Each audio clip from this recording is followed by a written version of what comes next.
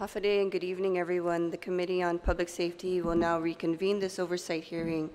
Today is Wednesday, November 6, 2019, and it is currently 17:15. For the record, in accordance with the open government law, public notices of this hearing were sent to all senators, stakeholders, and made media broadcasting outlets on Monday, October 28, 2019, and a second public no- notice on Thursday, October 31st, 2019. This hearing is a continuation of the October 9, 2019 Department of Corrections Oversight Hearing.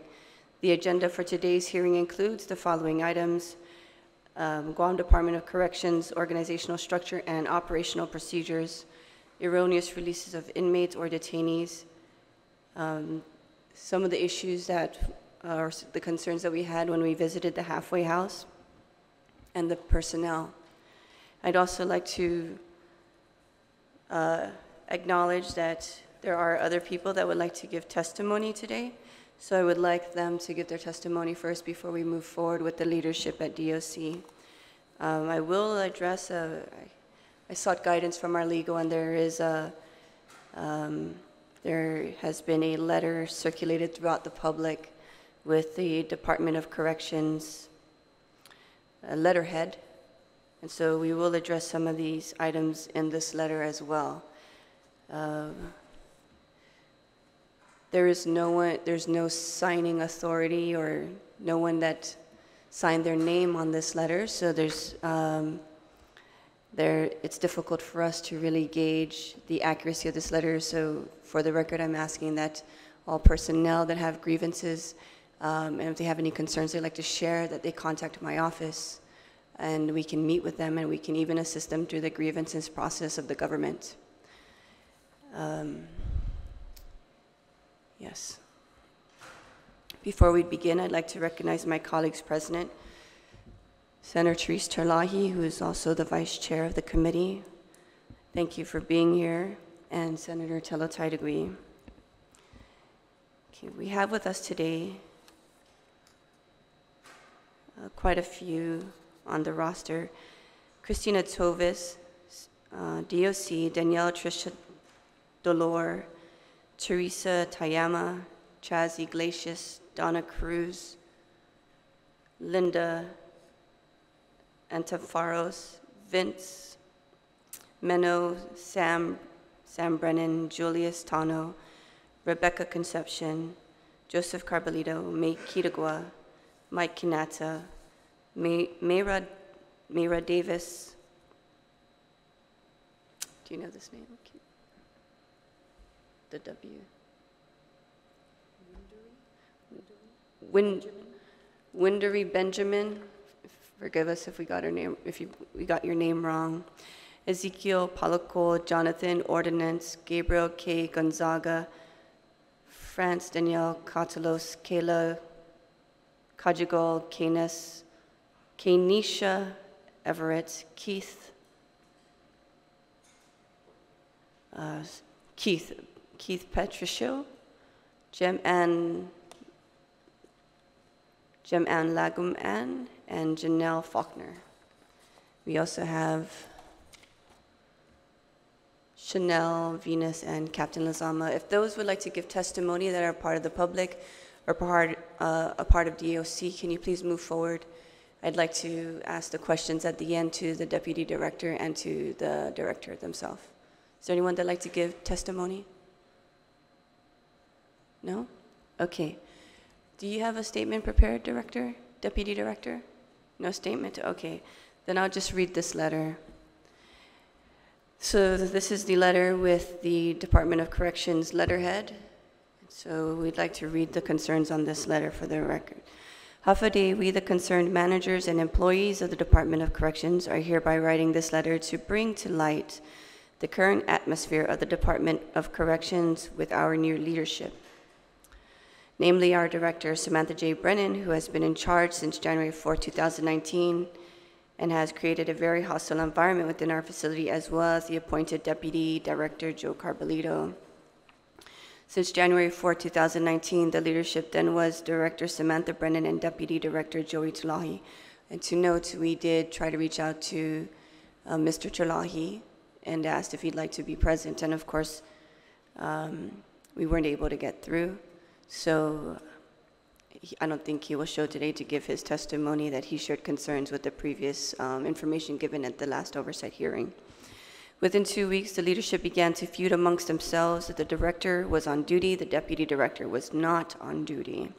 The director would give orders, and the deputy director would not follow through. In the eyes of the subordinates, seeing the top leaders not getting along affected the professionalism and productivity of the daily operations, forcing the subordinates to follow suit and act the same way. Our department ranking structure is as follows Deputy Director, correction, Director, Deputy Director, Warden, two majors, two lieutenants, which are referred to as the command staff, and of course, us, the subordinate correctioner, correction officers, one, two, and three. The reasons behind this hostility is Director Brennan has erected a wall and has forced the personnel to choose sides, her side or the warden's side. It is very unclear that she has no trust to any of the employees of this department other than a certain few which are advising her. She has empowered the Administrative Service, Services Officer, ASO Ms. Ovita Nauta, to make decisions in her absence. Ms. Nauta recently pled guilty to a case while she was employed to the Guam Police Department pertaining to the mishandling of funds. Ms. Nauta is again handling departmental funds and budget. Any and all supervisors on duty must report to Ms. Nauta prior to leaving the facility in the absence of director or deputy director. Ms. Nauta is the mully of Director Brennan. Director Brennan has completely removed all decision-making from the warden, who is the highest-ranking officer of this department, to include all command staff. We as employees attempt to seek assistance from the command staff, but they must seek approval from the director prior to any decision-making. We, the overwhelming subordinates of this department, seek guidance and assistance from our higher ranking officers, the warden, majors, lieutenants, etc.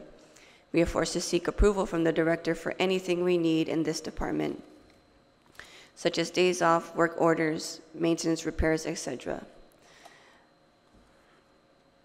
The warden is not able to change personnel around from different shifts to meet their personal issues or operational demands, nor is he allowed to change anyone's days off, which is very clear on the duty rosters cover memo stating no changes will be made without the approval of the director's office.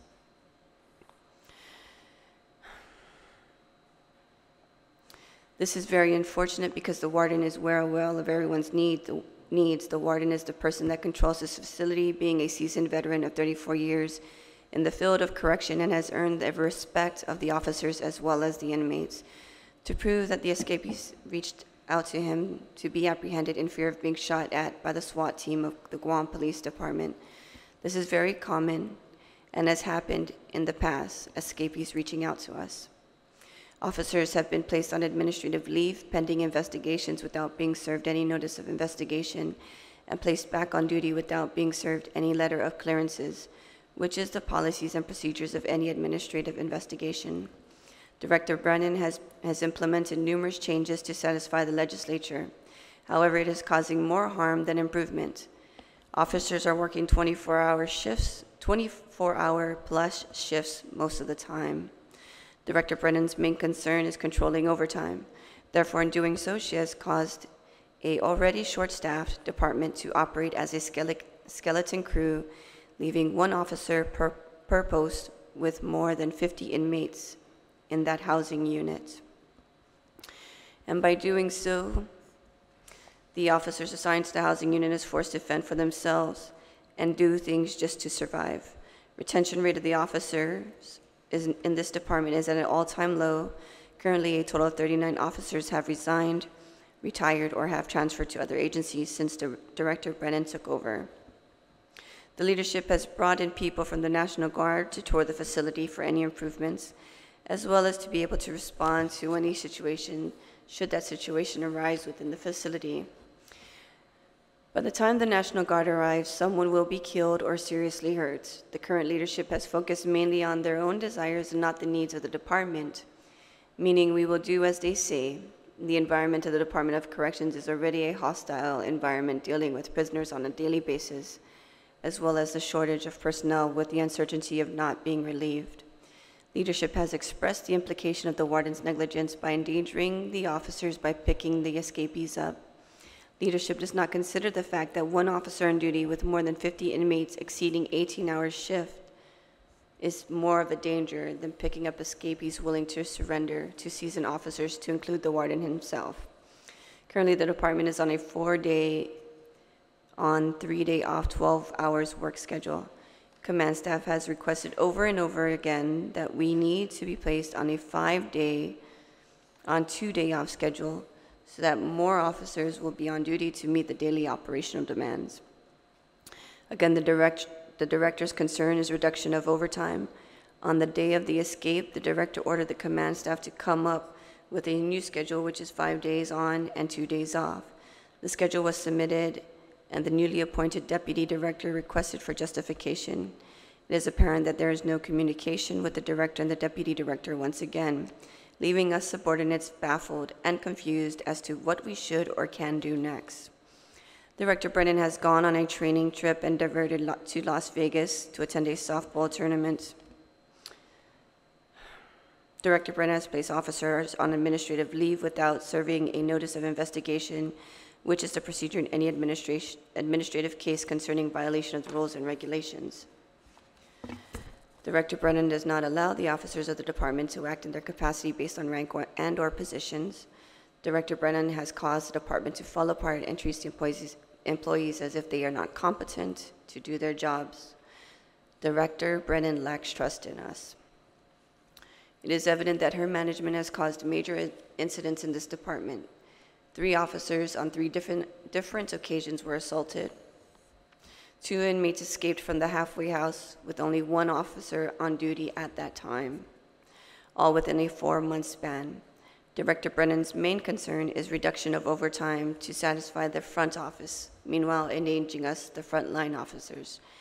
Brennan blames the warden for these incidents, however, it, it is clear on documentation that nothing will be changed on the duty roster without her approval. Director Brennan is trying to implement ways of operations as it, as it is done at the Superior Court of Guam. This is the Department of Corrections. We are dealing with prisoners in their houses, so to speak, not probationaries or defendants that are trying to prove that they are capable of surviving out in the public. We are dealing with prisoners who will be living here for the rest of their lives. This letter we are submitting will hopefully bring light to the current situation of the department. Officers who have been doing supervisory duties have been revoked from their positions, which were detailed since the previous administration. Director Brennan refuses to compensate them, stating that it is not her ability or her responsibility. We have gotten information of, the, of a climate survey that, ha- that was to be conducted. However, the warden was the only one interviewed.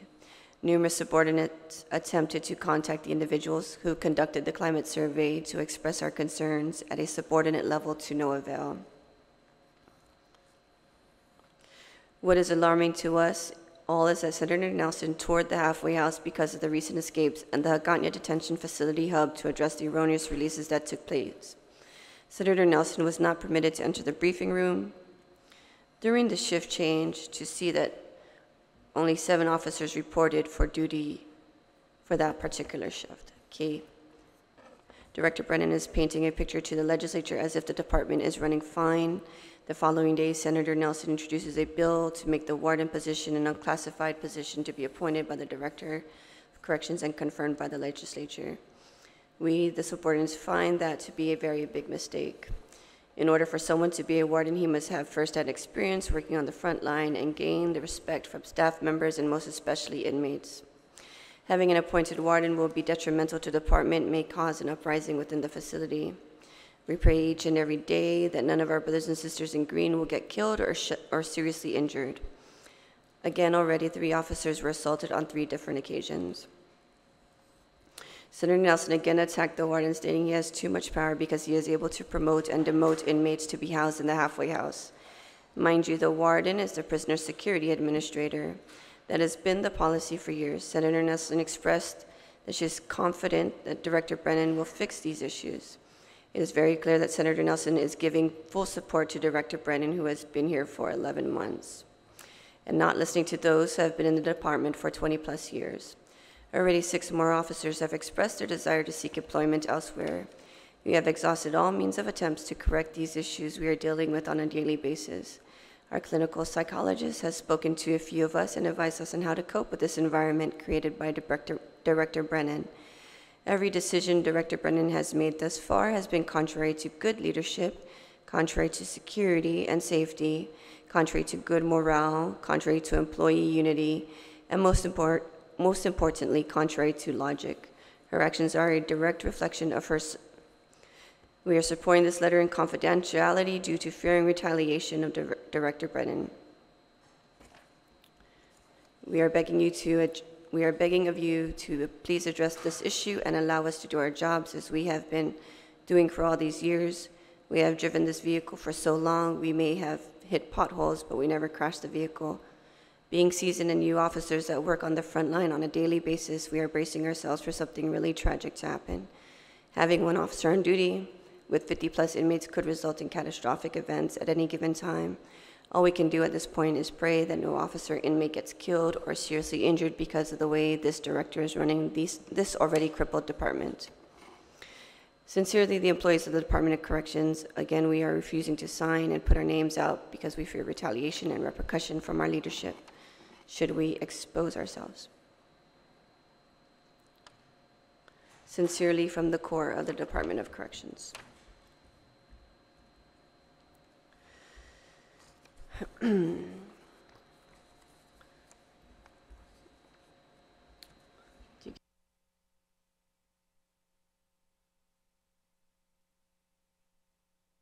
Okay. Yeah. Yeah. Yeah, okay. Um, Director Brennan, do you have anything to say in response to this letter? No, ma'am. Okay, I'm just going to ask you some questions in reference to this letter. Is it true that you have had shifts of personnel doing 18 to 24 hours at a time? Yes, ma'am, that has happened. What is the reason for that? The reason for that is um, from one shift to the next, officers don't come in, so there's a shortage of manpower to begin with, and then officers call in sick, or we just can't enough, get enough officers to come in on their day, day off to work. There is a recommendation in this letter that if you move the schedule, which is five days on and two days off, would you, would this be able to fix the issue? I'm not sure we'll be able to fix the issue, ma'am, but the five and two schedule has been um, uh, suggested from our command staff, and we've asked them to prepare the documents um, to move forward, to give us a roster with a five and two, and so that we were able to implement it. And we received one about two weeks ago, Okay. and it was incomplete. And so we, we needed the command staff to also uh, follow through. Um, Major Uggan was on leave last week, and so he came in this week, and so we're trying to um, complete that, and hopefully tomorrow or by Friday, we'll get that out. So tomorrow, you're going to change the shi- the shift change? It'll just go five and two, ma'am. So two. instead of three days off, they'll have two days off. Okay. I want, I want you to know that um, I am more concerned with the safety of the officers than saving money on overtime. Absolutely, ma'am. Um, So is this an issue that you're trying to save money on overtime to cut down and it affects the personnel? Is this a purpose to save money on overtime, thereby affecting the operational needs of the, the agency? So initially, when we came in, they were on five and two, and we noticed that the overtime was high. So yes, initially, that was one of the reasons. Then we went to four and three, and it was working, but it wasn't working, because it always depends on a daily. People may call in sick. Some, it- we may have 10 people off that day, but then we have other people who may call in sick, have family issues, and so they're on annual leave. And so it, the numbers started to dwindle. And so then we were asked to go to five and two, and I had disbanded the SORT team and our uh, internal affairs so that we could use those individuals to go on the platoons so that we could add more to uh, the um, officers that we had. So I was asked, I was continuously asked to go to five and two, as well as to activate the SORT team, which didn't make sense to me. How can we go five and two and activate uh, 11 people? It would still leave us at a deficit of officers. And so we continuously asked, please come up with a plan and how it was going to work. And over a period of time, we, I did not get a plan. It was only approximately two weeks ago that I got the plan for a five and two.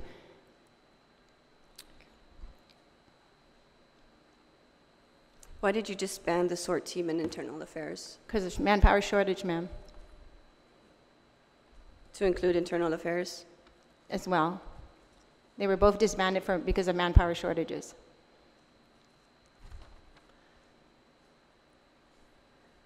What was the purpose of, well, this letter states that, um, is the warden still on leave? Yes, ma'am.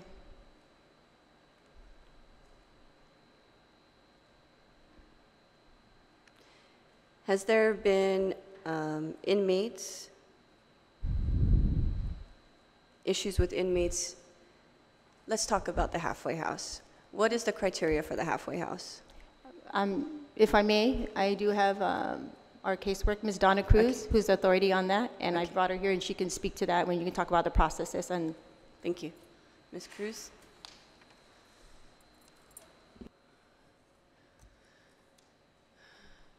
Oh, there's my papa.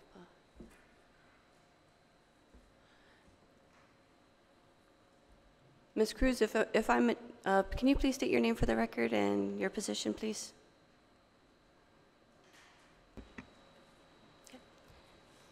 Hello? Hi. Yes. My name is Donna Cruz. I'm uh, currently the uh, Adjustment and Classification Committee Chairperson, uh, also known as ACC for the Department of Corrections. My committee is comprised of myself, three members, and three alternate members. We are appointed by the Director of Corrections. The Adjustment and Classification Committee utilizes the Executive Order 9705 which was promulgated February 22, 1997, to meet the goals of the Department of Corrections towards rehabilitation and reintegration regarding custody classification for inmates. We also use the General Order 97006 as a guideline and a tool, effective March 29, 1996. The Adjustment Classification Committee convenes to address, review, and decide on the custody and program needs of the inmate. We review the inmate's progress and determine which classification is best suited within the- within the institution. The committee sometimes makes referrals and necessary assessments, psychological, medical, and casework, in the best interest of the department, the inmate, and the community. When ACC conducts a review, it does not necessarily imply a change in the inmate's custody, programming, or work assignment. Rather, it serves as a way to monitor the inmate's progress and bring attention to problems that may arise. ACC makes appropriate recommendations concerning basic program changes such as special department treatment-oriented programs assignment, assignment and coordination to the department, work assignment, vocational and academic pro- program assignment, and we also may reclassify an inmate for cause for adjustment purposes, such as a a disciplinary hearing board where there are negative incidences or they commit a new crime. An inmate's upgrading classification is based on progress, treatment programs, work assignments, education and religious activities, behavior, and adjustments, as well as time frame guidelines as we use as a tool. What is the selection criteria for, what is the name of this committee? The Adjustment and Classification Committee, The Adjustment and Classification? yes. What is the criteria um, if I'm an inmate to, to get into the halfway house? I'm sorry? What is the criteria that if I'm an inmate, I would like to move to the halfway house? What, do- what, what, what are the basic requirements do I need to have in order to avail to the halfway house? Okay. um, The basic requirements. basic, the basic requirements to get to the halfway house. Well, uh, let me start off first as uh, how an inmate comes in and how we basically go through the down, down the line as, as they go through the half, to the halfway house. Um, When um, an inmate is adjudicated um, and we receive a judgment, uh, they're basically considered an inmate, and we basically have 30 days to review this inmate, to investigate, to review this inmate for um, his classification. There are 11 classifications. The first one to include the unclassified, uh, the Is the- unclassified. Ms. Yeah. Cruz, I'm, I'm confused. Can you just answer my question? Okay. What is the Uh, yes, criteria? Yes. Okay. Guidelines are time frame. What is the time frame? The time frame, um, it, it, it it varies from different uh, prisoners. Okay, why? Uh, But uh, the best attribute to, to get to the halfway house would be uh, the closest uh, to their parole eligibility, which is at least two to three years to their parole eligibility or their full-time release. So you must have two to three years of parole eligibility. Yes. And what else? Uh, We also look at their, their discipline, uh, their disciplinary, have they had any disciplinary incidences? We also. uh, Disciplinary incidences. And if they have disciplinary incidences, do you allow them in the halfway house? No, if they're one year or more, no. Okay. We also, um, there's, if What- there's, Okay, go ahead. I'm sorry. yeah, we also, um, we also view them um, on view- treatment programs, how much treatment programs have they taken? Um, uh, We also uh, review their stability factors, um, and basically uh, their eligibility towards uh, uh, getting down to the halfway house. At the halfway house, there's three different programs that we, that are there. There's the work credit program for every uh, 40, every 40 hours, one day knocked off, the inmate sentence. And there's the work release program where the inmate gets to go and get a job and, and um, basically gets paid. 45% goes to an inmate compensation fund. The other 45% goes to court fines and restitution, and the other 10% goes to an in- uh, inmate's savings account or is designated to uh, a family member. Has, So, has there been any inmates that have been, that have resided in the halfway house that exceeded the three-year eligibility of parole? yes, yes,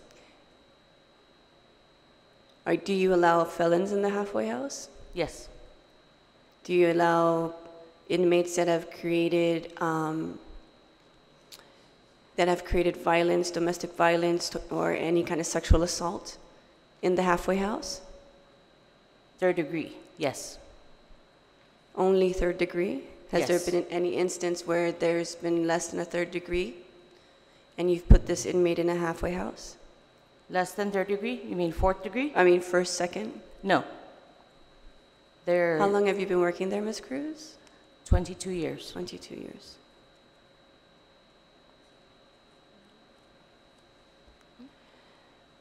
Is, Director Brennan, if you have more than, um, a- if you put in individuals who have more than three years of parole el- eligibility to live at a halfway house, essentially, it's like, um, it's a camp. It's, it's no longer prison. They're no longer serving, serving time if they're there for more than, if, say, for perhaps the person's there for 10 years, gets sentenced to DOC for 10 years, and then they go into the halfway house. They have nine years of parole eligibility before they're able to go to parole. You put them in the halfway house. Do, you- do you think that that's a disservice to the community? I think based on the criteria that is set up, that we should follow it. So my opinion, um, yes, ma'am. Did you, are you looking at this uh, criteria to change it? Um, Not necessarily to change it, ma'am, but we're looking at the criteria and we're having everybody reevaluate it that's currently at post nine.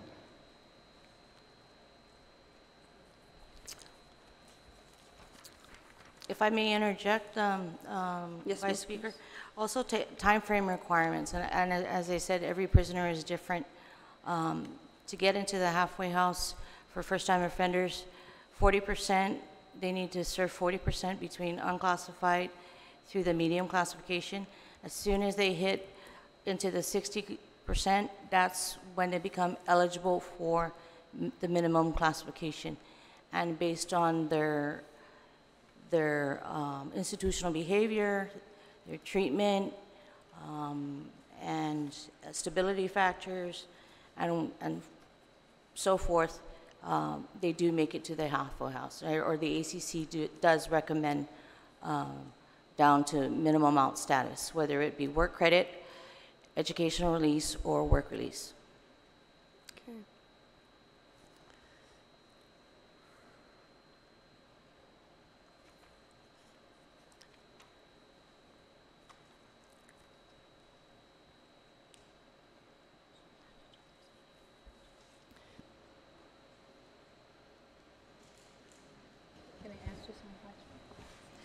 Ms. Cruz? Yes. Ms. Cruz, is the, you said there was a committee, an adjustment and classification committee? Yes. Three members appointed by the director. Yes. Is the warden a member? No, the warden is the uh, final authority, uh, appointing authority. Oh, so you make a recommendation to Yes. him, The committee, yes, does make a recommendation. and he makes the final decision? Yes, he makes the Okay. final Okay. decision. Thank you. Um, Vice Speaker, if I may, um, I do remember that there is uh, one individual that is um, down there for uh, a degree for more than, uh, uh, more than third degree CSC. And that is correct. There's one, there's one inmate, yes. How did that inmate get approved into the halfway house? Um, That individual um, was prior uh, to my, my uh, um, reign uh, in- into the, as a chair, Um, but he did, per law, he did do the, um, the uh, timeframe. He had, he, he com- he completed the time frame for his criminal sexual conduct, and now he's doing the other time, uh, the other times for, for his, for his sentence. He's completed the CSC offense, he's completed 25 years. And what had happened was, um, the prior committee basically had um, recommended and uh, the PSA overrode it and placed him in the minimum out classification. What did the, per law, what did the prior committee repre- uh, re- uh, recommend? for that individual, Yes. uh, to continue at the minimum in classification. In the prison, Yes, that's at post 24. post 24? That's within the perimeter, they're not allowed to go outside. Okay, and who, what is a PSA? The Prison Security Administrator, And who was that at that time? uh, Who was that at that time? Warden Allen Bora, Say again? Warden Allen Bora. Thank you.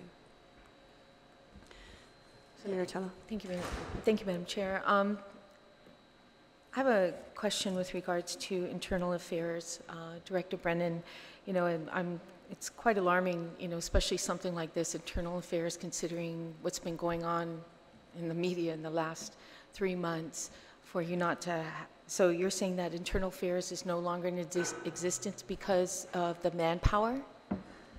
Um, Initially, because of our manpower shortage, I uh, made a decision to disband both our SORT team and our IA. However, uh, I believe it was two months ago that I reactivated IA because we had um, cases that came before us, and I needed that to reinstitute that section, ma'am. Okay, I appreciate it. And how many have you assigned to internal affairs? I have two. I currently have two. Do you think that's sufficient? No, ma'am. Okay, well, we need to ask up front, you know, administration for additional help on that, I think. If you could please make that uh, request to the administration. Second one I had is, um, you know, the letter that I, that uh, the arch- chairperson had, had read off, it, it was reading off of a letterhead. You know, I've, I've been in government agencies before, and the only one who has authority to use these letterheads have to have it cleared by the director or those in charge. So would you consider this letter, I mean, it, it's on a government letterhead by an anonymous person. Are you, you know, with the, are you trying to find out who these people are? Because they're using a letterhead that has to be approved by, or maybe it doesn't. Maybe you can ask that question for me. Do you, does anybody in the agencies who's using the Department of Corrections letterhead have to have approval by the director's office to use that? Yes, ma'am. Anybody using our official letterhead must come to our office where we give them a, a document number and we note it down where that document is going to. So you must get approval to use our, per- our letterhead within DOC. So that is quite alarming and concerning to me as well. So I'm sure you're going to look into that because the use of a letterhead is, is uh, something that needs to be looked into, okay? Yes, ma'am. Okay. Thank you. Director Brennan, can you explain the purpose of the fence that you were building at the halfway house? Can I explain the fence that I'm Can building you- around Post 9 or Halfway House? Yes. I'm putting up a fence around Post 9 Halfway House, ma'am, Can you to explain ensure the safety and security of- of our community and, the- and public safety. What is the purpose of the halfway house? What is the purpose of the halfway house? It's, the halfway house is, on our post nine is also the, um, the area where these, uh, they're placed through our ACC board to give them a minimum in, minimum out? Minimum out, to allow them to have some flexibility where they're able to be, to be eligible for work credit, um, work release, and then education release, which allows them to reintegrate back into our community, so that at the time that they're getting ready to be released, then it's an easy transition for them. Is it supposed to be intended that you have a fence up at the halfway house? Beg your pardon? Is it supposed to be intended that you have a fence up at the halfway house? What is this? It's a psychological profiling, right? You're preparing them to be out in the community. You've put a fence up. Well, usually, ma'am, the halfway house is not located on the compound like it, like it is situated currently. So a halfway house, ideally, if a halfway house was located um, five miles from the Department of Correction or somewhere else uh, away from us, then ideally, no, we wouldn't have to have a fence. At this point, I've chosen, because it is part of our compound, to put the fence up to ensure the community safety and the public safety as well. So I've made that decision.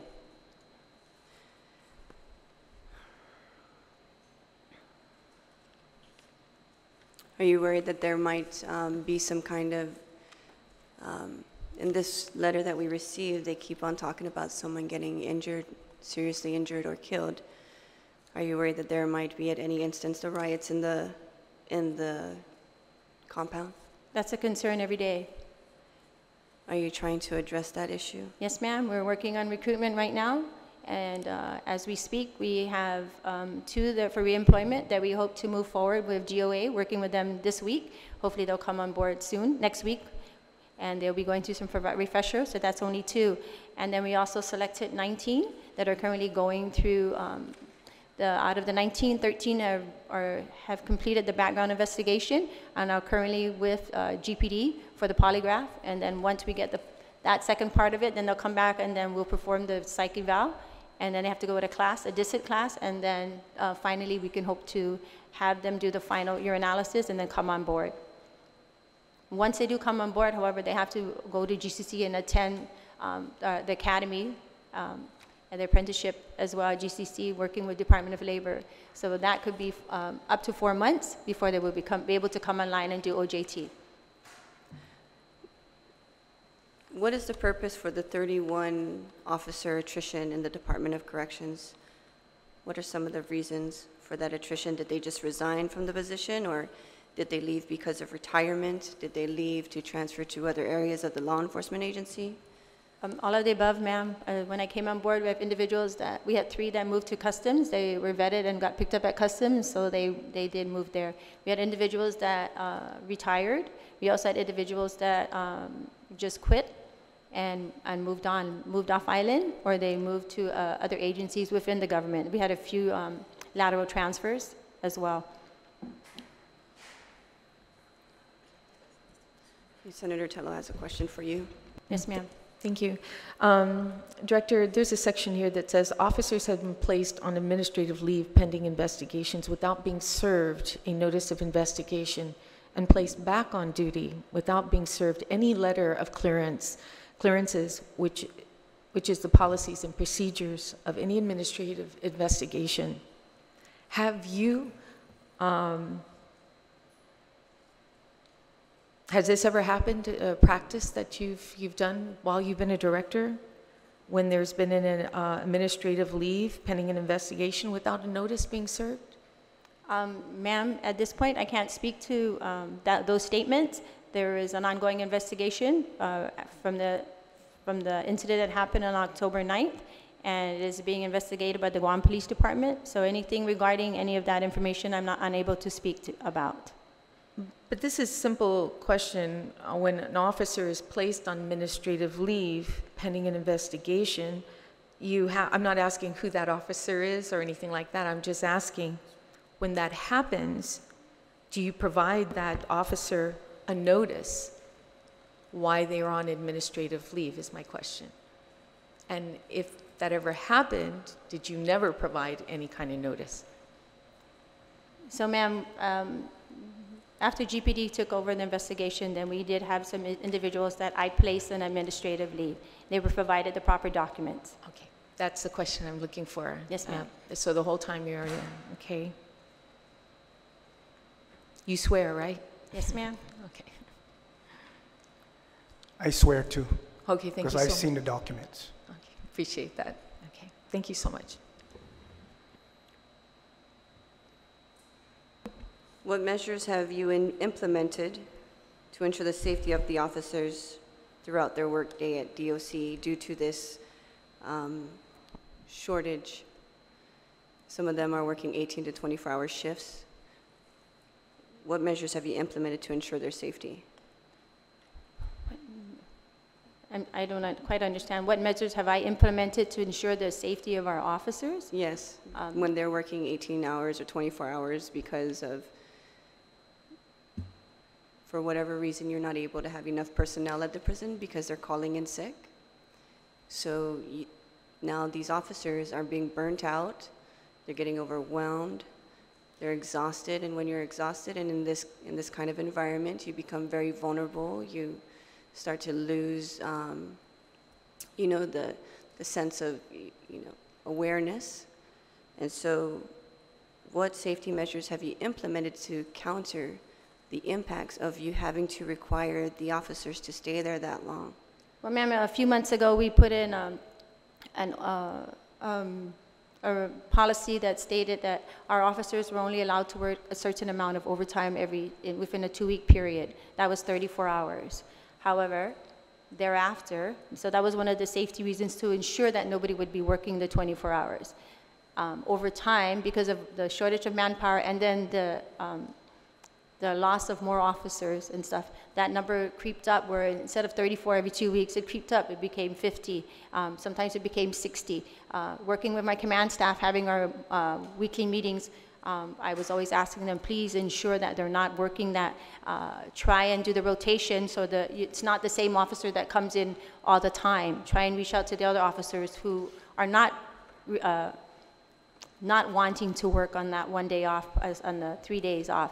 So we've tried to reach out to the people who are on- um, regular days off to come in, and sometimes we call them and they come in, sometimes they don't. So I, we've put that into place. Um, Other things I've done is uh, we uh, recertified individuals with pepper spray so that um, they're able to have a tool in the event that something would happen.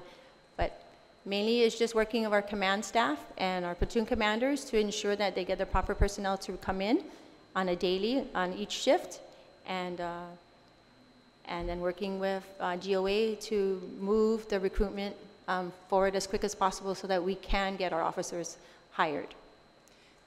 So you stated it seems like that you have an issue with the officers wanting to come to work, and usually that's contributed to um, a low morale.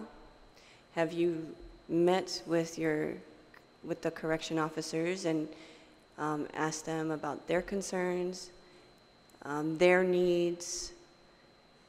Instead of relying on your command staff, have you gone down to the trenches and asked them, what can you do to serve them better as a director? Yes, absolutely. I've met with uh, platoons on more than one occasion. I've gone in at mid, at, um, excuse me, when we were at 5:30 in the morning to five. I've gone in early morning. I've gone in um, in the evening. I've gone both times. I've I have um, met with them directly. I've asked their command staff to step out the, of the room while I I address them, and some of them have come forward and told me some of their issues. So I've done my best to try and address that. Um, uh, in all honesty, there are some officers who refuse to speak to me because they're fear of retaliation. So that has also happened. So I've done my best to go and speak to them. I've even, I've even, they all have my cell phone number. They, they're free to call me. I've had that open door. They can come and see me. And usually we just, because of it's paramilitary, we ask them to go through the chain of command. However, if there's any fear of retaliation, I've also told them, come and see me. So I do have an open door policy and stuff, but I would prefer that they go through the chain of command. However, of course, if there's any fear that um, they're able to reach out to me, and many have reached out to me, ma'am. Uh, out of out of the personnel in this room here, who here is in your command staff? Major Uggan, Captain Lazama, Major Kirawa. Three of them. I would like them to come to the table, please. Sure. Command staff. Major Uggan, Major Kitagwa. She's not on my command. Major. Ma'am, go forward. Swear them in.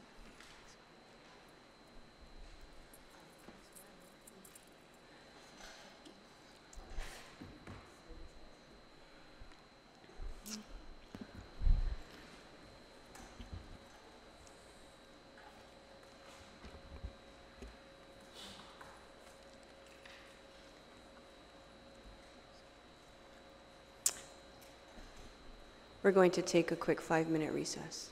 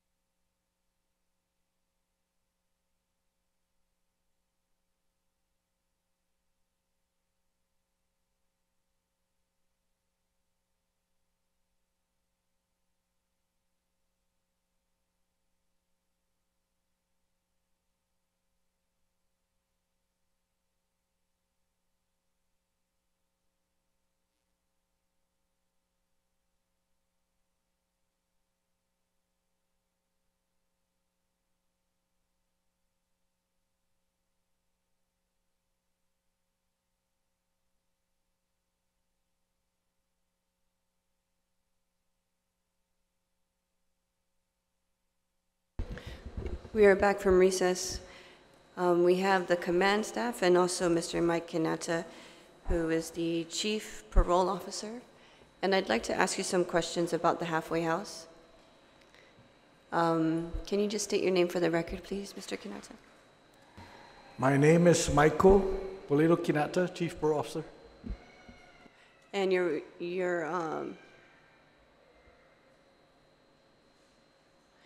and what is your position? Chief Parole Officer.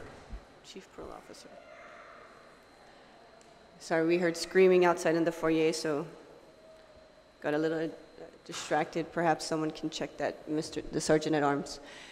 Um, Mr. Quinata, can you tell me the criteria for the halfway house? Uh, basically, what um, Ms. Donna Cruz mentioned, the criteria to get there. Um, I used to run the halfway house when I was house at Tiyan. So the, they're vetted, whoever goes there is vetted by the Adjustment and Classification Committee. And when, when I did run the halfway house, it was an agreement between the warden, the social work supervisor, administrator, and myself that anybody coming out to the halfway house has to qualify for all three programs. Work credit, work release, or education release. You cannot come there because you qualify for one of those programs that's, that's being done out there. Has there been at any time inmates in the halfway house that did not qualify for all three? When I took over the halfway house, there are inmates there that did not qualify for all three. And uh, how we were able to fix that, if you violated, you knew you were, you were doomed and you went back and never had the opportunity to come out. And I believe there's still some inmates that are in that category that have not, you know, they've done real well. They follow the rules so that they don't get sent to disciplinary hearing board and they get sent back to the, and will never come back out to the, I guess they had an issue with ex facto. They were sentenced before the law changed. Is there anyone that didn't, that after the law changed, they still would put them at the halfway house even if they didn't qualify for all three? Ye- Yes, there's, there's some that are still there. I don't know the amount. And, you know, they, they've been model, what we would say, model inmates, uh, been complying with the rules. What are the hours that the inmates, or the the inmates that reside in the halfway house, what are the hours that they're able to come in and out of the house? Um, At night, they're, there's, because of the minimum security they're, they're at, it's not as stringent as the head counts that would come like every hour, every 30 minutes, however, whatever, you know, class, it depends on the classification. The halfway house at Tiyan, we're away from its facility, we're not fenced in. The officers will do their count. Of course, we had the, the proper manning at that time, um, when I was out at Tiyan.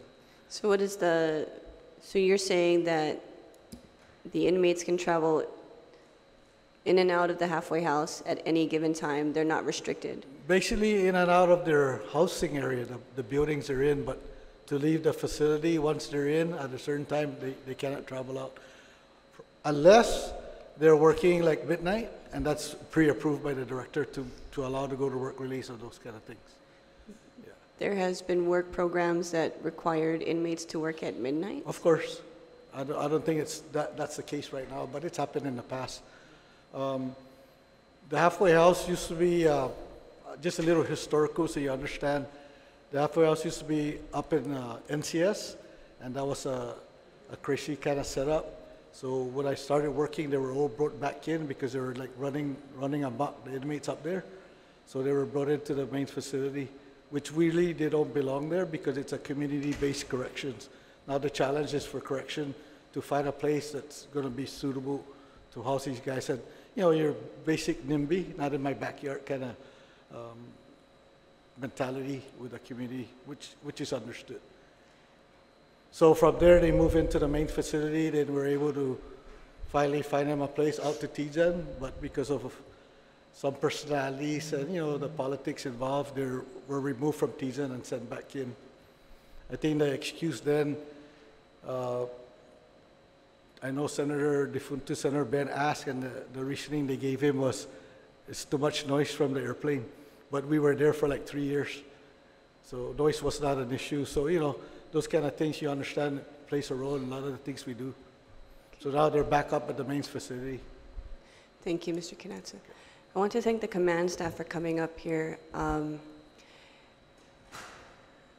The director stated that she has gone out to the correction officers, one, two, and three, asked them if there are any issues, uh, any situations, any concerns that they'd like to address within the department.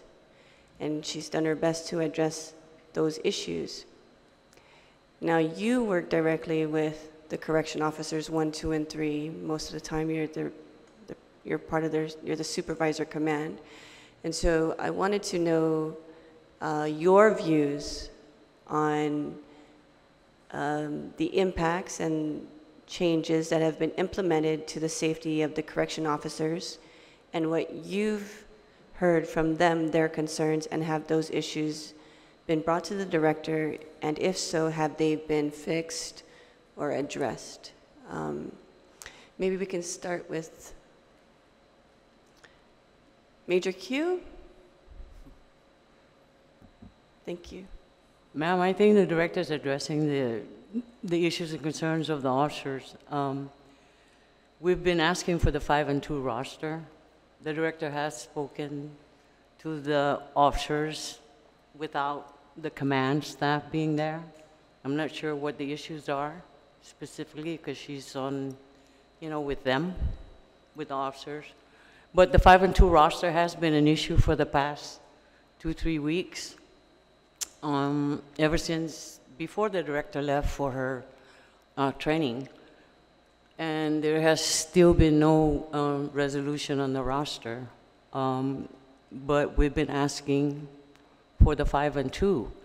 Um, at first, it was um, to provide justification for the reason of going five and two. And uh, when she left, 02 took over. And um, we addressed the issue again about the five and two roster. And we were told that um, there'll be no changes until the director returned. So we just kind of waited until she returned. And it's being addressed again. And um, thus far, no, no resolution or, or no decision has been made on the five and two roster. So, um, the five and two will provide more officers for the shift, but it doesn't take away, again, ma'am, the, you know, calling in sick.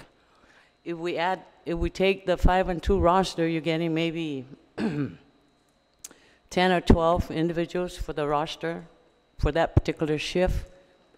But at the rate of calling out sick, unpredicted um, leave, emergencies, things of that nature, we're almost like where we, you know, we started at. I mean, there was no, no really um, resolution to the problem because we are very short.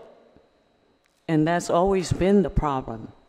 We're short of personnel, period. Across the board, we're short of personnel. The 12-hour roster we've been on, we've been in for like three, four years already. Officers are burning out, they're getting sick, and that's why the, always calling in sick. We have officers that have never had problems coming to work, developing sick problems, because they're tired, they're burnt out. We need more officers, and I think the director's um, on target when she's trying to push the hiring process, even trying to shorten it, because we do need the officers. And she's been harping on that since she's uh, come on board.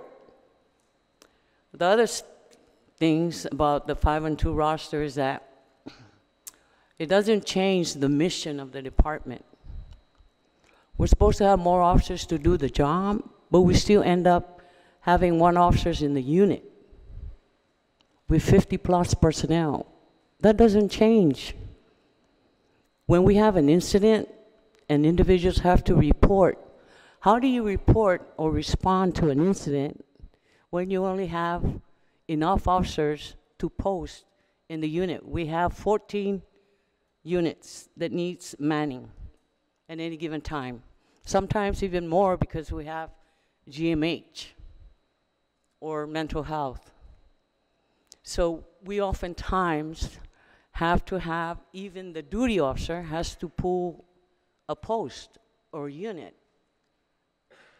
And we shouldn't go there. Because the duty officer has to be available and access to the whole operations of the shift. She cannot be posted because if she or he is posted, he cannot leave the unit. It will be left unmanned. And normally, you have more than 20 prisoners in a unit. Who is going to supervise them? So that's a risk that the duty officers take to fill in the shortage of personnel. So even with the five and two, we're still going to run risks of units being short, lack of officers to respond to incidences. What is the current personnel shortage now? We are operating at 160 officers, I believe, 100 currently. 100 But we used to have 230. 160 or 106? 160, Major Organ, I think, has the exact number, ma'am. Once- What is it? 160 officers. Okay, 160 160. officers. Director, have you, sp- have you spoken to the governor about this, this significant shortage of officers and how it impacts their safety significantly? Yes, ma'am. And what, what is being done to address this? I'm working with DOA. Uh, I came on board on January 8th, I believe, and uh, it was, an- the announcement for correction officer was um, published, and it was a continuance announcement. So from January of this year, I did not receive the eligibility list to do interviews until September. Okay. So once I got it in September, I immediately did the interview. So yes, we, um, I have been working with uh, the governor, the uh, lieutenant governor, with, with DOA to do our, to do everybody's best so that we can move it forward.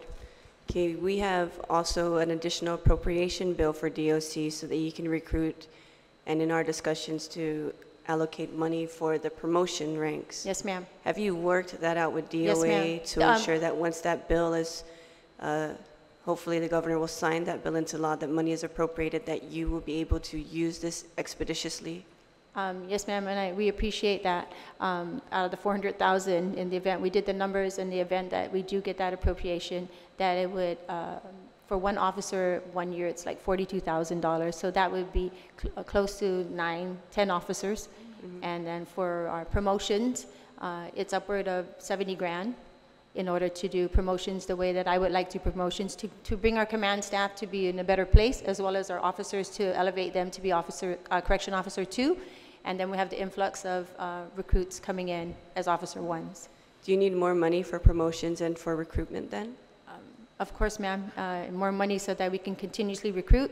Uh, As Major Kirugat stated, we're at 160, we're at 230, and our numbers are- are are- dwindling, and I, and so we would always, it would just be great if we could continue to um, have more officers, uh, have uh, an eligibility list uh, there, so that in the event that we have to do any kind of recruitment, that it be there, and we didn't have to wait so long. So it takes, you, you mentioned earlier, it takes four months to get these officers on duty, right? The training, the, all the requirements. And so if we, even if we appropriate this fiscal year, you have how many recruits in the pipeline right now?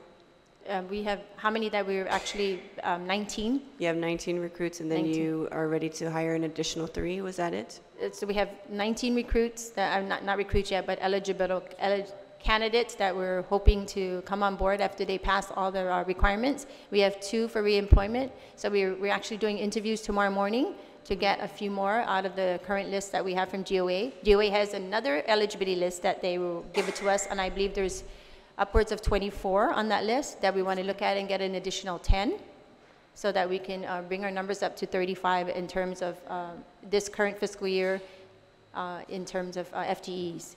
Okay, so- Thereafter, should we get additional funding, then yes, ma'am, that would just require us again, and we can move forward faster because we do have the current list. So you're telling me you have sufficient amount of money to hire the 19 recruits that, on the first eligibility list that are candidates, 24 recruits on the second eligibility list that was provided to you by DOA, and an additional 10 more recruits? No, ma'am, I'm saying out of the list that DOA has, it's like 24 that are eligible, and we want to get additional 10 An additional from that 10. list in order to fund it to get our 35 that we have uh, va- vacancies at this time. Okay, so that's 34, About 34, 35. 35. My numbers may be off, but yes, ma'am. How long will it take you to get that additional uh, thir- 34? You have that, the eligibility, the second eligibility list list with 24, and then you want to hire another 10. How long will that take you? We're doing interviews tomorrow to vet um, as many as we can, and then I hope to have um, another interview within the next two weeks to, to meet that 35, that number, 35 uh, threshold. And so if we do the interviews and then we go through the process again, uh, mind you, we do the interviews, we do selection, then it's to have to go through the background investigation. So that's going to take time.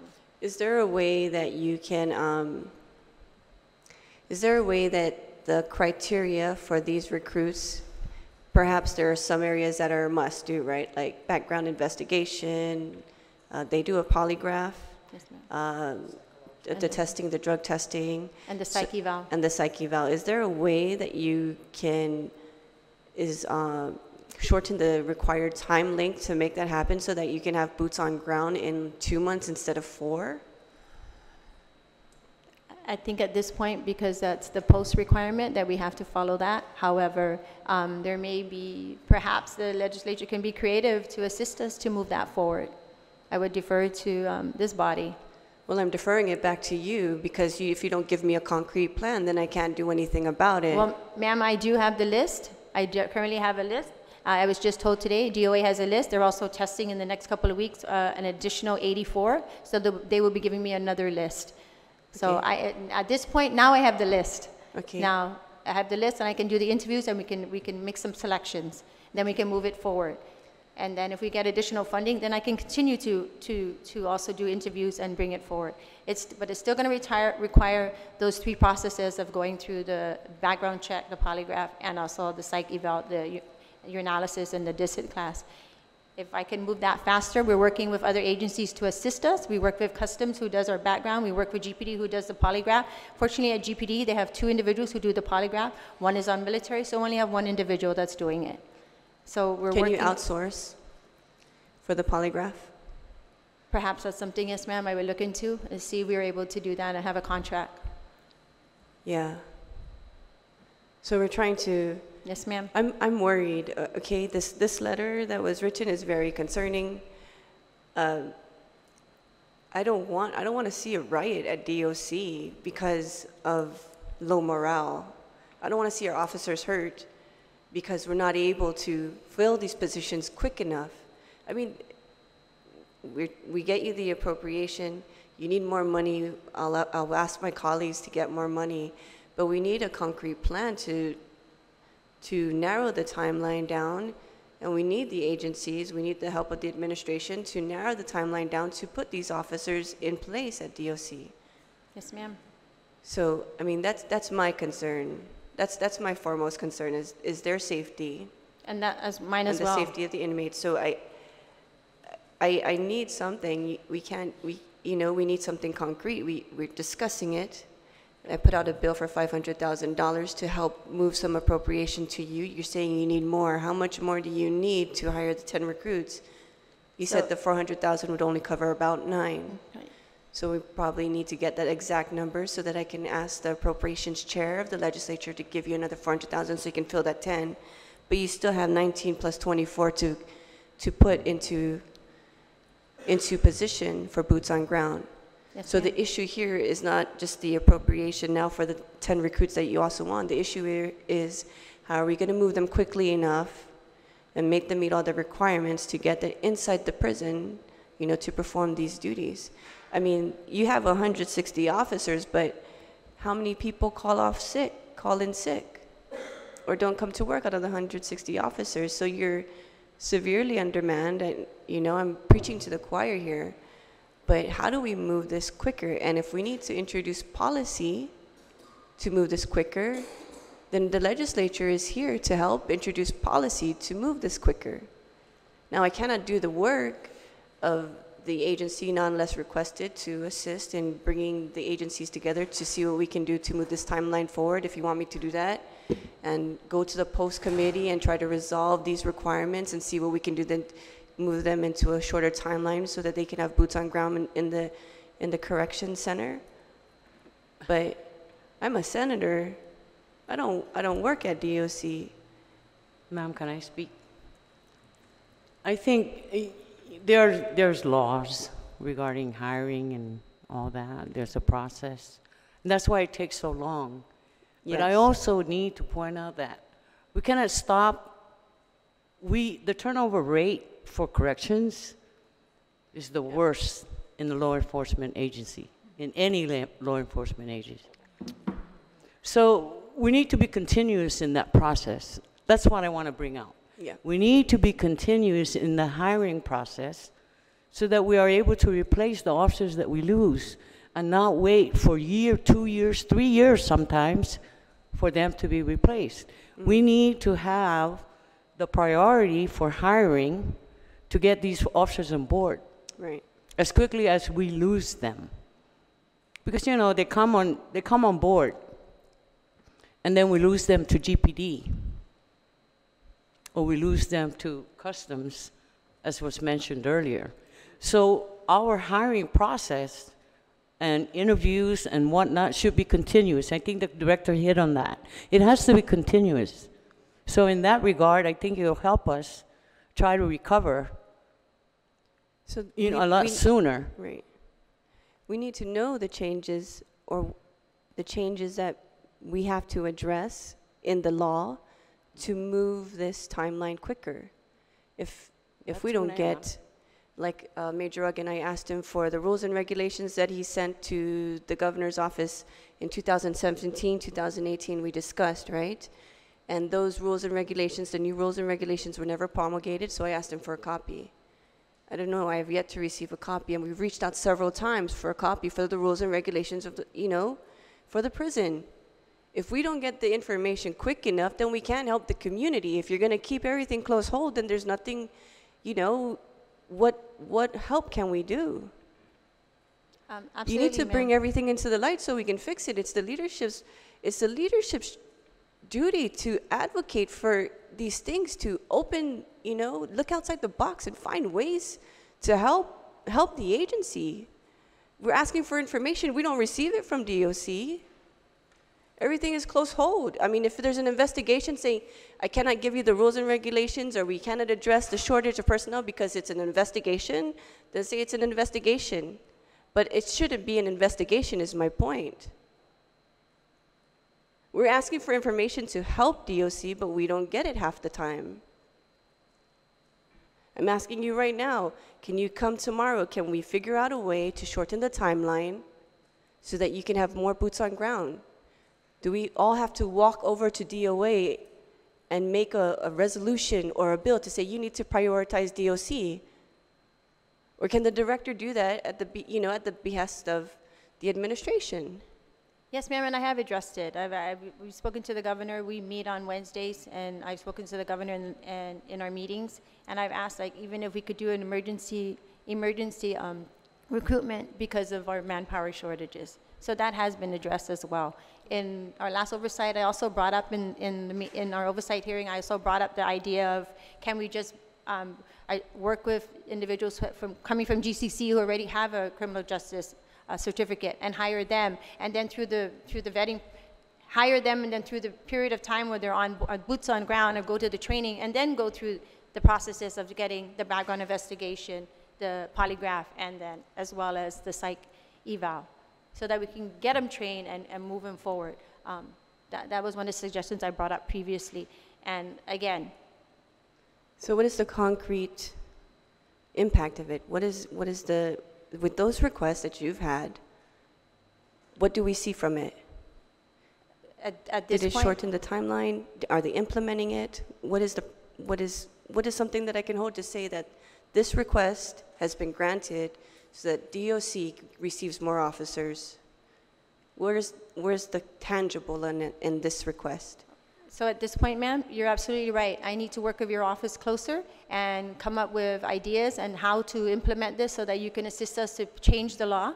Well, you're, you already told me that you came up with the ideas, Yes, right? ma'am, but So I'm asking you, when you did this request to the administration, where is, where's the concrete, where's the tangible impact?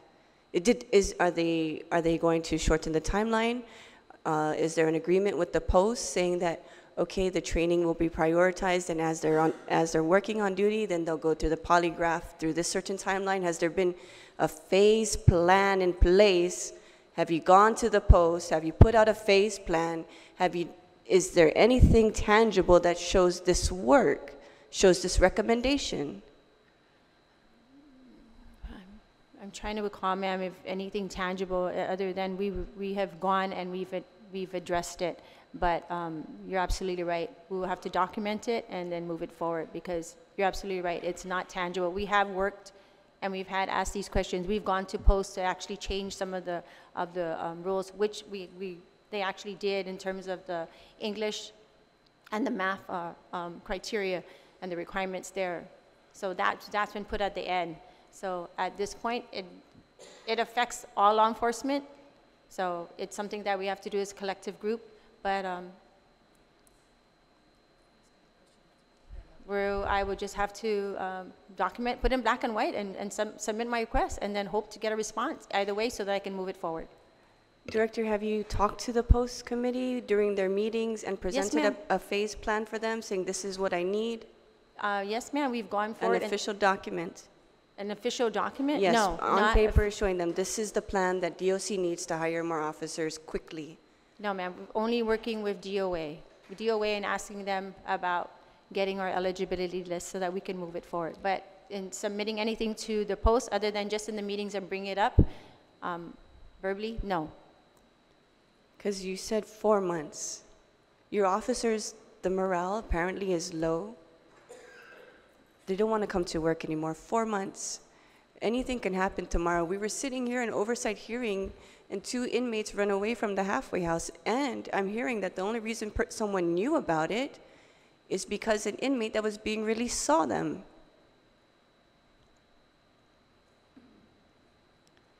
So I'm concerned. This four months, anything can happen. You know, I mean, there are things that you can control and there are things that you can't. And you couldn't, could, you, sitting at an oversight hearing, you weren't able to control the fact that two of your inmates left the halfway house. That's, that's something you can't control.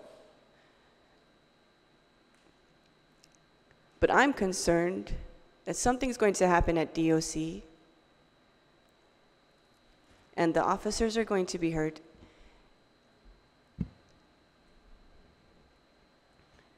Senator Taitague, uh, do you have a question? Thank, thank you, Madam uh, Chair. Um, Sam, I- I'm glad to hear that you, you're not ashamed to go to the governor's office and call for a state of an emergency, because I think it's uh, very appropriate.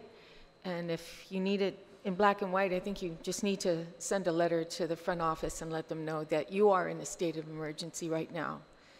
Um, And I think the, the good chair was talking about trying to find a solution, you know, hate to say this, guys, but women, we can mul- multitask a lot better, and that means finding a solution that would lessen the amount of uh, uh, manpower, like, for instance, a, a facility that is more, um, more conducive instead of spread out, like DOC is, is right now. It's so spread out. That means you have to have one guy way over here and another guy here, and then usually, I mean, I'm talking about the movies where you see it's like uh, two-story or three-story, but it's all manned in one area with less police officers.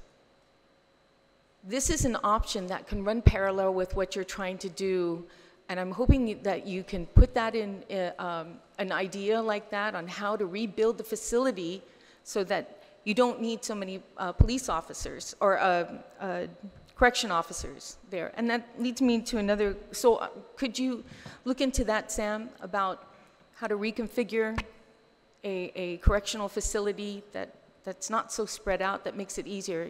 And I think you know what I'm talking about. So there's been ideas in the past, I believe.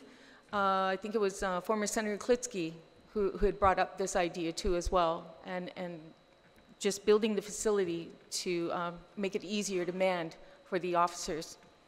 Is there a difference between a detention officer and a, a, a correction officer? Are their qualifications are the same?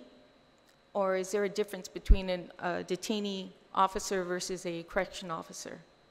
So um, the detention uh, facility guard or a detention officer was a title that, um, from previous years, when they were hired, and then it evolved to a correction officer.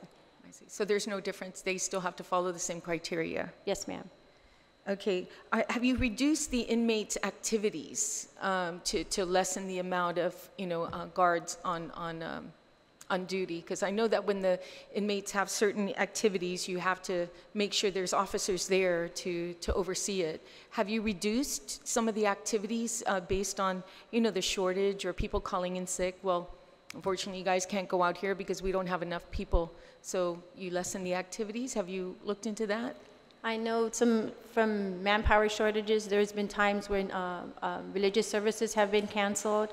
Um, Has, a Major and Captain Azama, have you canceled uh, rec, recreational as well? Visitation has been canceled, it, and uh, so there has been, uh, there has been times when, yes, ma'am, due to our manpower shortage, that um, the platoon commanders have canceled it. Well, I I greatly appreciate, you know, you you guys doing everything you can, you know, to try and make it work with your shortage. And, uh, but please run parallel to pro- pro- providing a solution with less police offi- uh, correction officers in, in building a facility that's uh, more conducive and, and, and easier to man by less people than, than, uh, than you really need, what you really need right now where it's so spread out. But, yeah, thank you, Madam Chair, for the opportunity. Thank you. Director, I want you to know, I'm sure you're aware that I was the oversight chair for Department of Corrections. Now, I'm not blaming you for these issues, okay? But we need to address the issue now. This issue of um, the post requirements hindering um, the hiring of, of officers was not an issue last term. The issue was they were not able to get um, enough personnel on the list, from what the leadership was telling me, they were not able to get personnel on the list to do the hiring. And so we, you know, we tried to move DOC with that route, and they continue to, uh, there's continue to be, be this natural attrition. So now that we're looking at this, okay, now the issue is, how can we move the post requirement, right? So which post requirement um, can we avail to? How do we change the statute? So this is the information that, you know, you you talked about, but um, if we can change the statute, we can write a bill tomorrow to change the statute, make sure we're well within the law, and we're not too, um, like a former colleague would say, lackadaisical on the requirements. They still have to meet the, you know, the stringent requirement to make sure that they are morally sound for the job. Then let's do that. But we need we need something concrete, right? And so I'm going to end this oversight hearing, and I'm going to ask that we perform these due-outs within the next, say, week and a half, two weeks. I, I don't know when the next post-meeting is, do you? What is this? I believe it was canceled in October, so the end of the month. It's usually the, I believe, the last week, the last Thursday of the month. The last Thursday of the month, okay. We go to the post, the last Thursday of the month, in this meeting in November. They're meeting in November. Which I think is Thanksgiving, so it might be. Okay, uh, so they might have moved it. Correct. Okay, so we'll find out. And we go to the post with the plan to see what requirements we can um, initiate right away and what requirements can we initiate during the, during their time of work, right? Because you need, you need to stream, you need to get as many officers in there as you can. And this is, could- the four months is not enough for you. I understand your hands are put behind your back in, in this, this, these kind of requirements, but let's move something forward. Let's, let's fight together to get them and if we can, to move them to this two months. Yes, ma'am. So we, so going to the post and trying to change the post law, which would Right. require the legislative Right, body to make some decisions, then uh, we thank you very much because it will help DOC move forward. Because once we do the interviews and if we're able to streamline some of it, then we're able to get these individuals on board quicker. So I thank you. I thank you so much for um, allowing us to move that forward. And as soon as we get that done, I will uh, hold the public hearing, and I will ask the speaker if we can have a special session, because this does involve the safety of our community, and so this is an emergency.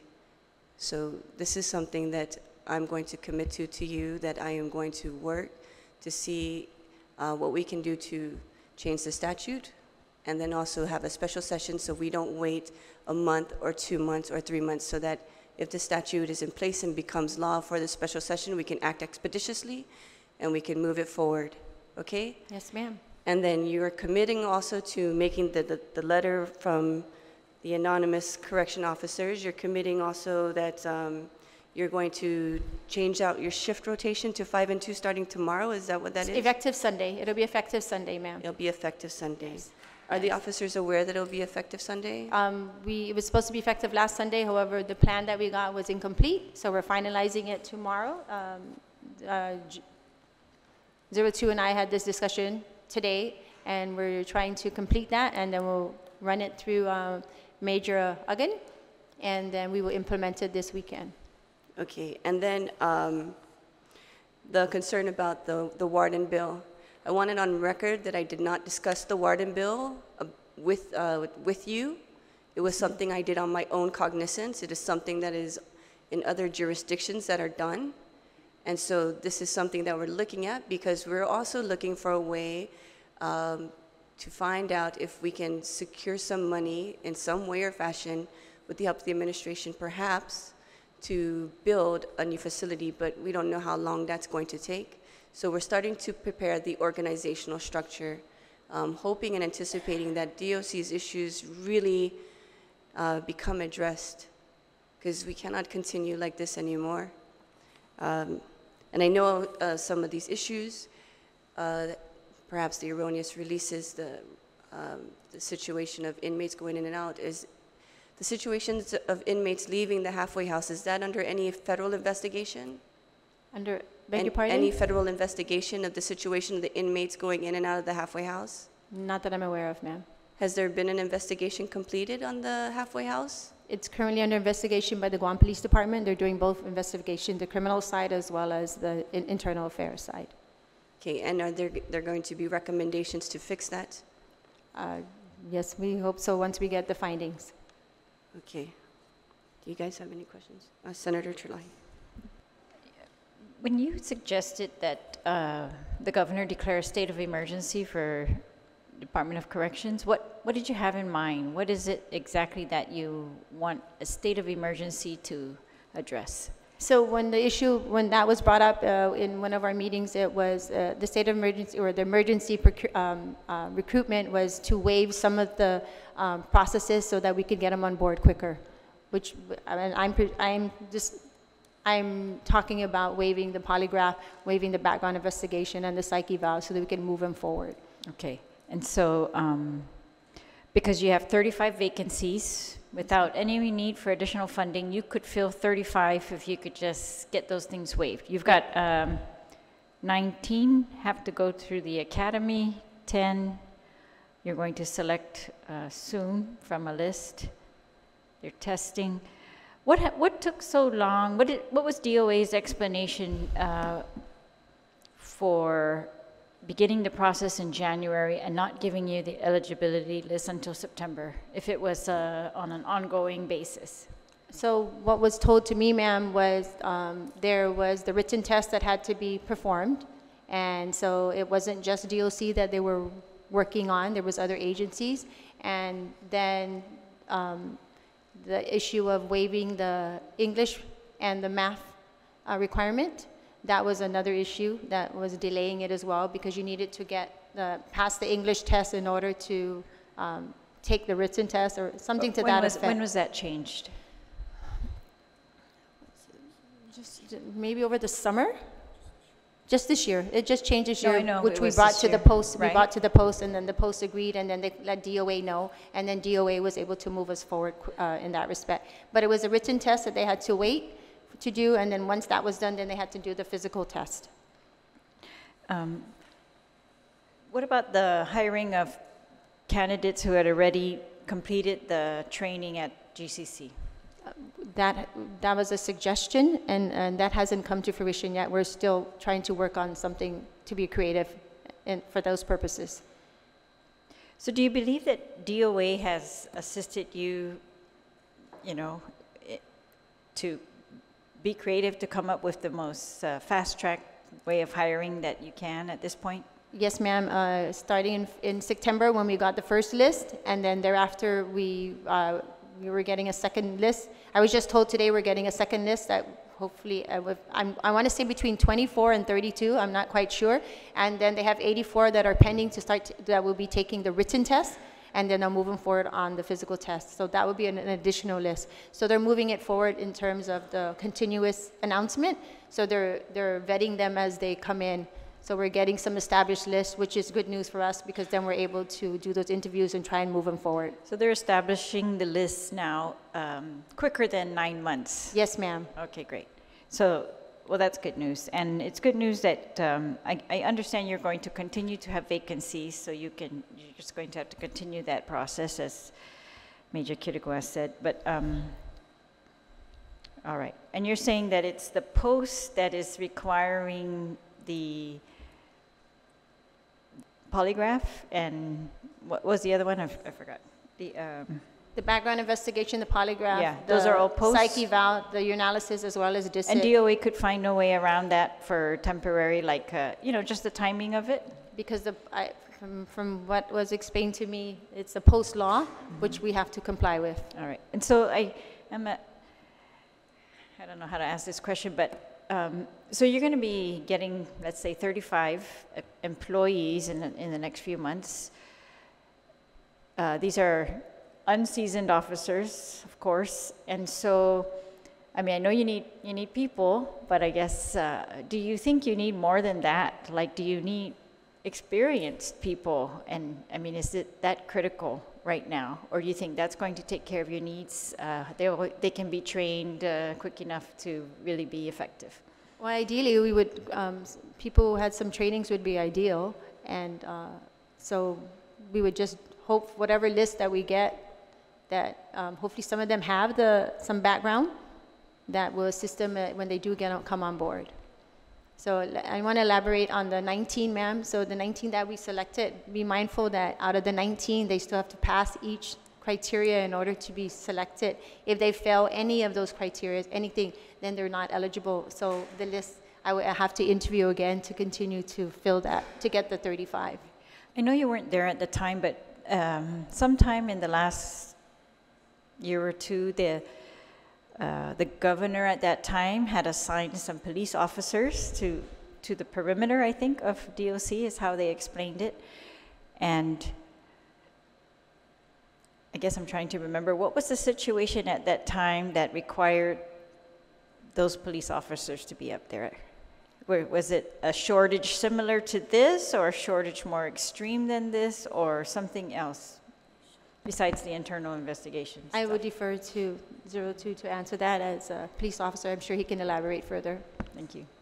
I was the commander of uh, Dededo precinct that was shut down at the time to uh, assist in uh, the manpower issues that were, that was going on up at uh, DOC.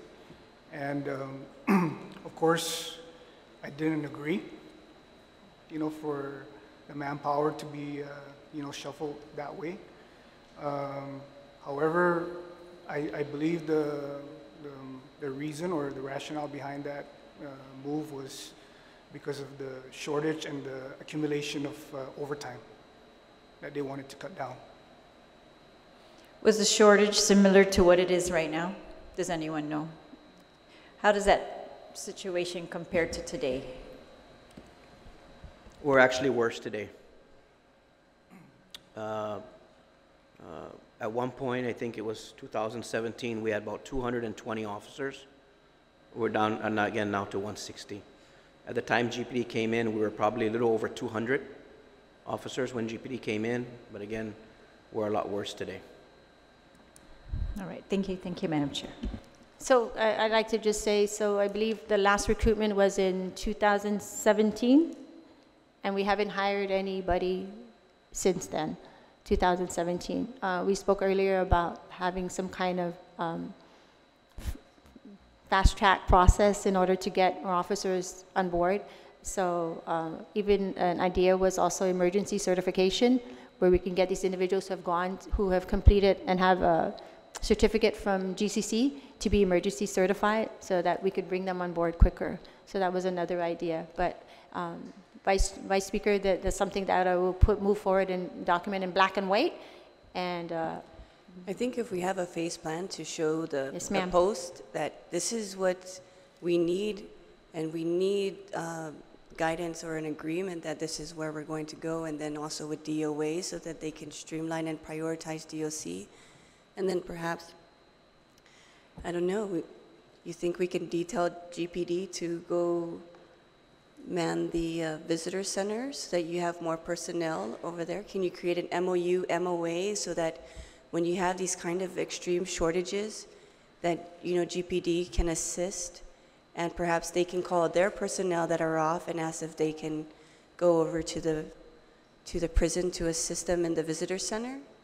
I think there's manpower shortage all the way around, as well as for GPD. So if we do any kind of emergency certification or any kind of change to the post law, that's going to benefit them as well, as, as well as all other law enforcement. But in terms of asking GPD to come and do it, if the chief of police would be so kind and he would allow his individuals to come and assist us, then we would gladly accept it. Yeah, so maybe you create an MOU, MOA, so, you know, they're, they're a phone call away. Yes, ma'am. I, I know that there's commitment also for GPD to get more recruits. I'm, I'm hearing that It's the same process, for the about delay for eight them. months, right? Yes, so, I was just about to say that the, you know, the issue with GPD is very similar, you know, with the manpower issues, and it, it's just a different, you know, uh, um, scenario, right? Because the OC is in, in a facility as opposed to DOC, I mean, uh, GPD, you know, manning, you know, uh, or patrolling out there. But the shortage is pretty much the I same. And- understand. And the process, the process, we're, we're, we're all in the same classification as far as peace officers, right, on the, uh, with post. So, um, those requirements that we, that we keep, uh, bringing up, uh, just to clarify, we're not, uh, we didn't ask to, to uh, waive that completely because we can't. you cannot, Yes. I know It's- that. It's upfront. Right. That we're asking for it to be waived, but maybe throughout the, the process, uh, maybe we can get these guys, uh, the candidates in already in the door, you know, uh, and then they, uh, while they're going through the, the academy, they can vet them with those uh, requirements. That's, yes, and so I understand that GPD also has shortages, but if you create an MOU and an MOA, or maybe um, an executive order can be done, that, so that if there's anything that you, if this, the safety of the officers are at risk and GPD has personnel off that would go like to give time to DOC, and of course get paid, then you already have the mechanism in place to do it just through a simple phone call. So it's not something that has to be debated back and forth and, you know, I'm not feeling good today, so I'm not going to give you some of my officers. Or my officers are complaining last time, so I'm not going to give you some of my officers. No, it's a, an agreement that when we need, you will try, you will try to help us. And if you, if you can't find officers, you can't find officers, but you will call the officers up and help and see if they can come in and, I don't know, do some work. That's something you want to consider because this is, this is this is your foxhole, right? If you, the safety of the officers at risk, the morale is low. Um, I, people don't want to come to work anymore. So I'm worried about what might happen in the future. Yeah, And it's so very that's- that's- limited on that's how you call. can, it's And very limited on how you can use police officers on a Right, that's why I said the visitor center also. like you did when, last term. I didn't say to put them in the prison, I said the visitor center. I just wanted to, uh, to let you know that though, because. I know, because I went there and I understood the dynamic of it.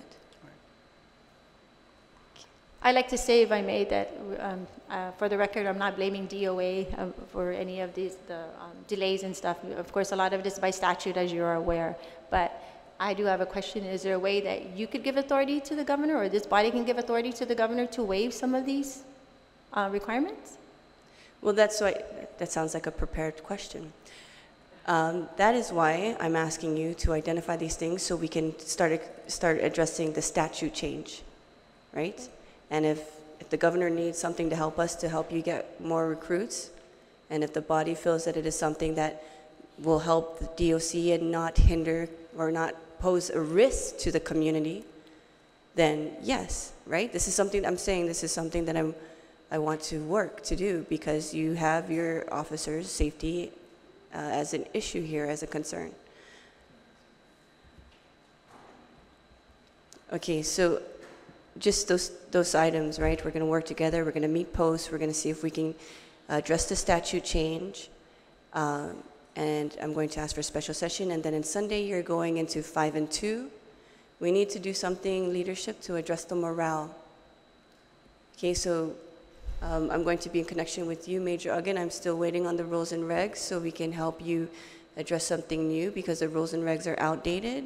So DOC needs that rules and regs that the command staff has worked with last term, and maybe uh, instead of reinventing the wheel, the governor can take these rules and regs and make it something concrete. I'm sure there are a lot of improvements in the recommended rules and regs that you have, um, but we need to address the the morale of the officers as well. So leadership, can you please do something about that? And maybe we can have a roundtable meeting during the Christmas season, right? Because it's Christmas coming up and we want to make sure that they're taken care of, the families are taken care of as well. So, so uh, I believe we exhausted all the concerns on the, uh, the, the, at least the, the very top layer of the concerns, right? And we'll, of course, we're going to keep in close communication, and if we have to have another roundtable or hearing, then I'll let you know. It is now 1901. This oversight hearing is now adjourned. Thank you.